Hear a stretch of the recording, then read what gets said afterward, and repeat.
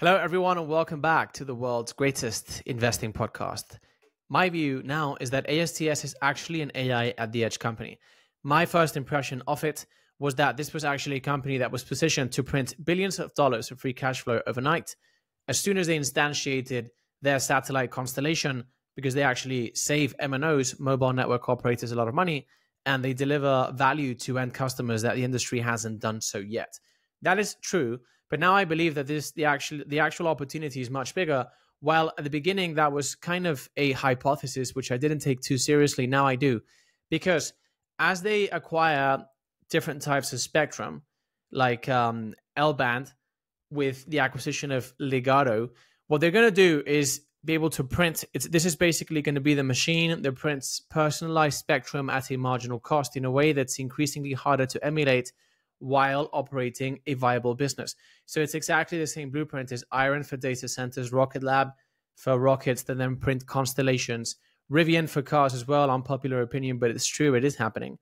Uh, AbCellera for improved patient outcomes uh, by essentially synthesizing any molecule of any shape that performs any function inside the body that we desire. These guys are moving down that direction because if you want to operate a swarm of end devices, be it as an MNO, lots of cell uh, phones, or as maybe uh, you know a company that powers humanoid robots like Tesla is going to be a few years from now and stuff, you're going to really want to optimize the kind of spectrum you're using. Each spectrum has a frequency which has different properties and ultimately delivers to value to customers in different ways and at a different cost. So you just don't want to be using the wrong type of spectrum. And therefore, if you have a platform that delivers the spectrum you need to thousands, millions, billions of devices at a cost that really no one else can match and in a very convenient way, so you don't have to switch platforms, then you're going to stick with that provider. That's essentially what ASTS is becoming now they are allegedly on track to print um, six Block 2 satellites per month. And the management says they're going to achieve that before the end of 2025, which I think is going to be very interesting to see. Now, they reiterate, and it's fairly clear to me that they only need like 25 satellites to provide non continuous coverage and up to 90 to provide continuous coverage worldwide.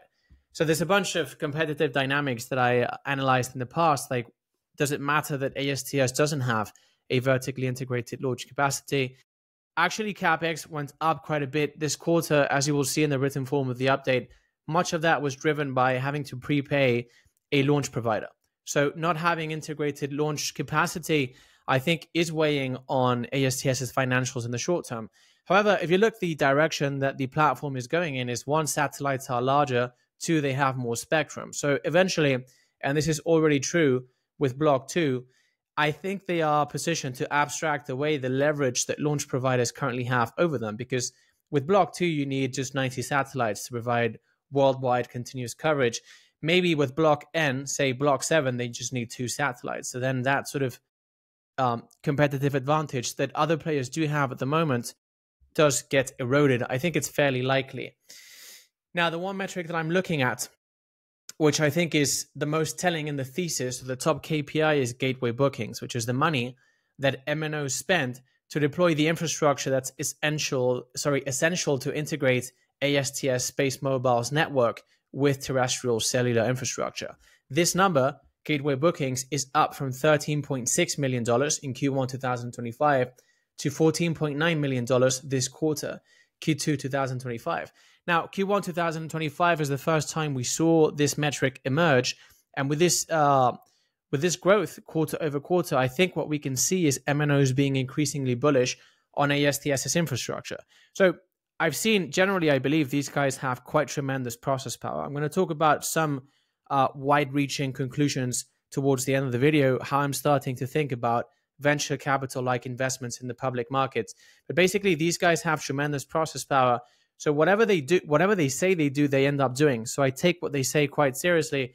And so you have Abel Avellan, the CEO, saying they're going through this inflection point. They are on path, on, on a path to achieve a six month satellite production cadence by the end of 2025. Launches, I think, will ensue, and that's not something we really have to put into question because the launch capabilities are out there in the market. You just have to pay for them. They don't have to develop them. So actually, I think that per the evolution of gateway bookings, per what management is saying and stuff, I think it's it's really quite likely that these guys are about to go through quite a meaningful inflection process, say over the next year, year and a half, tentatively. So I quite like uh, the setup here. So the other thing that I wanted to talk about is um, the moat broadly. At the moment, I'm not entirely clear on how difficult it is to replicate ASTS's phased um, phased array tech, which is basically what enables them to beam the same spectrum to many devices at the same time. It's the primary enabler of the platform. However, it's it's looking to me increasingly like the combination of you know the various components of the stack that go into the moat. It's getting harder every quarter to replicate. So as I was saying, as you have more spectrum types, firstly you have to get the whole phased array thing right. Then you have to deploy the spectrums. But in order to do that, you have to be navigating all this regulatory environment. Then you have to get all the partnerships with the MNOs right. And and maybe it's someone else when we're talking about physical AI slash AI at the edge. So it's a whole stack that gets harder to replicate at a given level of cost efficiency as the satellites get larger, right? Because one thing is to emulate phased array tech at the block one level, another thing is to do it at the block two level, and then say a few years from now it's going to be much harder to do so at the block six level for example. So although i'm not clear on the phased array tech because i'm not an expert in that technology um, i am increasingly bullish on the nature of the moats so i actually quite like this.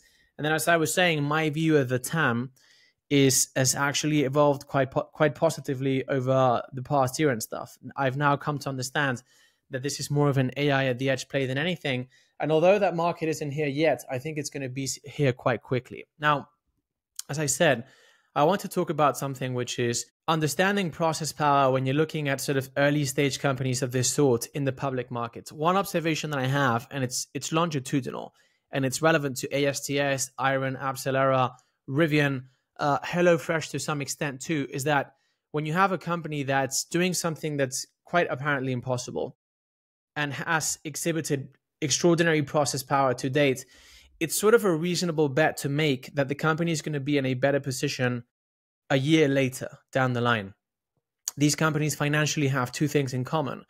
Although they're not yet cash machine, uh, cash machines, excuse me, they do not lose as much cash as any other company would faced with such an impossible task. So if you look at the graph of cash from operations for all of these companies that I just mentioned, it's actually quite striking how they're not losing $500 million per quarter or something with the investments they're making and how difficult it is. So they, they, they have this um, negative cash from operations that's a little bit in sort of homeostasis. It's in a kind of balance. And it's positioned for when they fine tune their machine enough to print a highly valuable asset that there's infinite demand for on the other side of the equation, then they print cash such that increments in the top line would be highly accretive to the bottom line. That's the first thing they have in common financially. Secondly, their balance sheet is actually in a relatively good state. This is particularly true for AbCellera and this company ASTS. It's if any other management team on the planet that would be doing the same thing these guys are doing would be bleeding cash like crazy and have a very very bad balance sheet. Kind of like what happened with Amyris where I lost 100% of my capital. So my experience here by studying these companies longitudinally is building up. And I think I'm developing a little bit of a framework. It's really just an extension of my current framework that applies to earlier stage companies. Now, I, I wouldn't be able to make a bet on any of these companies specifically, highly concentrated, large bet like I do with uh, the companies in my portfolio now, like say $500,000. But I could spray something like 200,000, 300,000 among these companies because I believe that the odds of one or two of these companies from this basket that I mentioned, so ASTS, Iron, AbCellera, Rocket Lab, etc., succeeding are now actually much higher. So actually, as I was saying, if you go back one year in time, you're going to see the extraordinary process power has culminated into these companies now being positioned to go through an inflection point. So they're getting really good at essentially operating this machine which prints stuff, which is very valuable. And I think that the odds of one of these succeeding is high. That all of them are pointing at infinite TAMs, and so if any one of them gets this right, a portfolio that's evenly spread out between each of these bets, I think, is likely to do quite well. So I may actually be tackling this in this manner. It's, as I was saying, an extension of my current framework to more towards more of a venture capital side of the spectrum. So at the moment, what I do is VC in the public markets with positive cash from operations. I think this is a way in which I could move into the more uh, venture capital like side of the spectrum. So that's it for today. Uh, going forward, I'm going to continue watching the gateway bookings. I am going to continue trying to understand the phased array tech better. But just by studying this company over time, I think at some point, if it's not with ASTS, it's going to be with any other of these companies. There's going to come a point where the opportunity is quite clear. There's cash from operations, and maybe the market is pessimistic with any one of these companies. And then maybe uh, perhaps that is an attempt of mine to time the market, right? I'm just thinking out loud here. But generally, I think the basket approach is going to work uh, so long as each of these companies continues exhibiting extraordinary process power, which for now I think is very much the case, definitely with ASTS. So, guys, thank you very much for joining me today. As always, if you enjoyed this video, could you share this update with someone else? My deep dives and updates are for free. And so the only way this goes is with, is with your help. If you want to access the written form of the, uh, of the update, that's available in my blog for free as always, together with all of the updates and the deep dives. So thank you very much in advance. Take care and see you next time.